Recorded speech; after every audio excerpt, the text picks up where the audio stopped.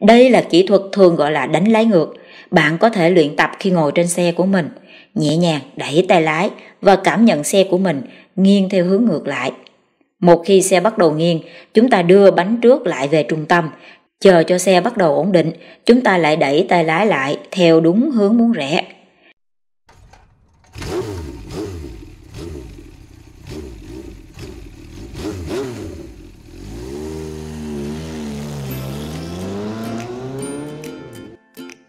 Rất nhiều người lái xe phân khối lớn thường xuyên nói rằng họ gặp khó khăn khi thực hiện ôm cua.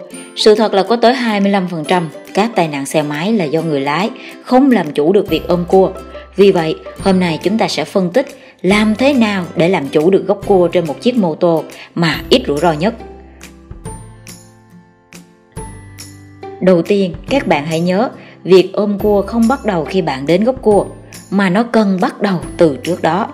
Rất nhiều bạn lái xe cố gắng tìm kiếm một thứ vũ khí bí mật nào đó giúp cho họ sớm trở thành một tay lái giỏi. Nhưng kỹ thuật đó lại không có gì là bí mật cả. Tuy nhiên, đây lại là điều khó khăn nhất mà bất cứ tay lái nào có thể thành thạo. Đó là dạy cho bản thân cách nhìn và quan trọng hơn là cách suy nghĩ xa hơn trước khi có tình huống xảy ra. Đảm bảo rằng bạn đã chọn đúng tốc độ vào cua bạn nên cố gắng phanh và giảm số trước khi vào cua, hạn chế phanh khi ôm cua. Việc này sẽ giúp cho chúng ta có nhiều không gian và nhiều thời gian hơn để xử lý việc ôm cua. Mục tiêu của chúng ta là đi chậm khi vào cua và tăng tốc khi ra khỏi cua. Nếu chúng ta vào cua quá nhanh, chúng ta sẽ phải rất chật vật khi rẽ. Nó có thể làm cho bạn bị lệch ra khỏi đường. Bạn có thể phải tiến hành nhiều biện pháp như phanh khẩn cấp hoặc nghiêng xe về nhiều hơn cả đều làm tăng nguy cơ chúng ta sẽ gặp phải một sự cố nào đó. Và nếu may mắn thoát khỏi khúc cua một cách an toàn, thì việc này cũng làm chậm tốc độ của bạn so với việc bạn vào cua đúng kỹ thuật. Do đó, hãy lập kế hoạch thật thận trọng với tốc độ khi vào cua. Hãy chuẩn bị vào cua từ bên ngoài của đường, không phải ở giữa và chắc chắn không phải ở bên trong. Có một số lý do cho điều này. Quan trọng nhất là nó cho chúng ta có tầm nhìn rộng hơn. Khi ôm cua rộng, nó cũng làm cho vòng cung của gốc cua lớn hơn. Nói cách khác, nó giúp cho người lái không phải nghiêng xe quá nhiều. Ôm cua rộng cho phép chúng ta có tầm nhìn xa hơn, gốc cua rộng hơn và cho chúng ta có nhiều lựa chọn xử lý trong trường hợp có vật cản khi chúng ta ôm cua.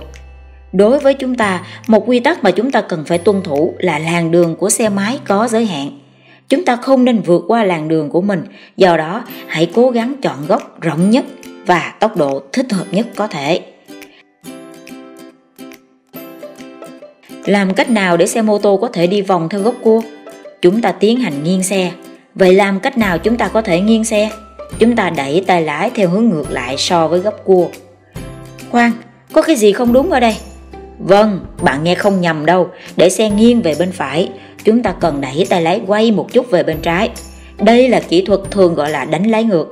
Bạn có thể luyện tập khi ngồi trên xe của mình, nhẹ nhàng đẩy tay lái và cảm nhận xe của mình nghiêng theo hướng ngược lại. Một khi xe bắt đầu nghiêng, chúng ta đưa bánh trước lại về trung tâm, chờ cho xe bắt đầu ổn định, chúng ta lại đẩy tay lái lại theo đúng hướng muốn rẽ.